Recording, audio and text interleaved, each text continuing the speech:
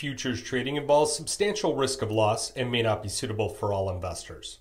Good morning. It's Thursday, April 11th, about 6 a.m. Central Time. Overnight, the precious metals are mixed after yesterday's volatile session. It was the impact of the hotter inflation data continued to send shockwaves through the markets as traders pared back the number of Fed interest rate cuts, and bond and currency traders repositioned as well. The most likely scenario is going to be one cut in September and also one cut in December. If you go to the CME's Fed Watch tool, you can see that now it's only about a 16% chance that the Fed will make that interest rate cut in June. So the dollar index breached through that line in the sand that I had at the 105 level. It is now trading at the highest level since November 2023. The ECB will also make an interest rate here decision, but they're also going to push back here on that first interest rate cut. The likely scenario was that they would make their first cut in June. It was 100% priced in. Now that's only about an 80% chance on the swaps. So we're going to want to continue to digest the data.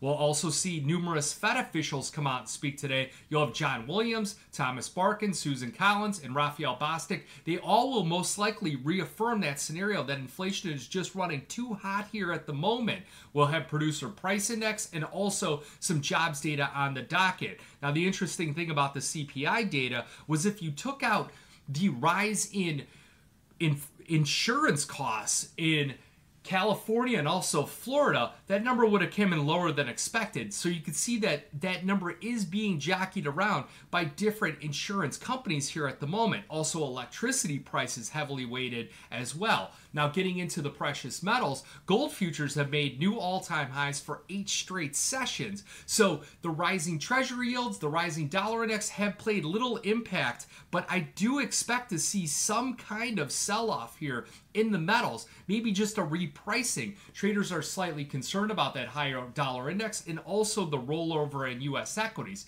If you look at US equities, they really look like they're hanging on a cliff here at the moment. I outlined two levels for you yesterday. Both of those were hit on the top side and the downside, and it looks like a likely scenario where we do test that 50-day moving average on the S&P somewhere around this pocket support of 51.55 up to 51.70 and I think you're likely resistance target has probably already been breached. 5209 is going to be the resistance point here on the day. Unless bar in mind that some kind of crash on this PPI data comes out or the jobs number comes in at a serious miss, but it's an unlikely scenario right now. Now, looking at some key levels of support in the gold market, I think we're comfortable trading right around 23.55 until we get more data here, or 23.50 most likely here. We've seen a dip to 23.43, we've seen a rise to 23.64, and it seems to gravitate around 23.50 at the moment. Your critical level of support below that's going to be 23. 2305.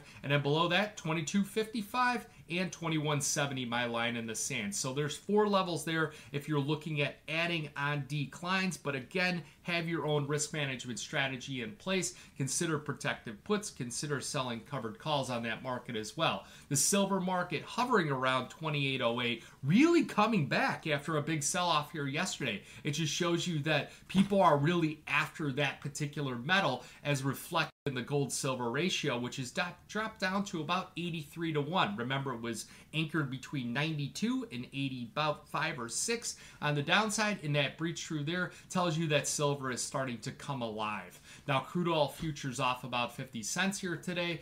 We will have a USDA report, and some of the other markets are just mixed at the moment with US equities sliding. I do expect to see a little less volume here today as we gear off for the Masters, so I'm reflecting the hat here at the moment, and we'll probably see a lot of people turning out of some of the financial commentary and into that. So if you got any questions, give me a call. I'd love to talk to you. 312-858-7303. Remember, futures option trading involves risk of loss, may not be suitable to all investors. Good luck, good trading.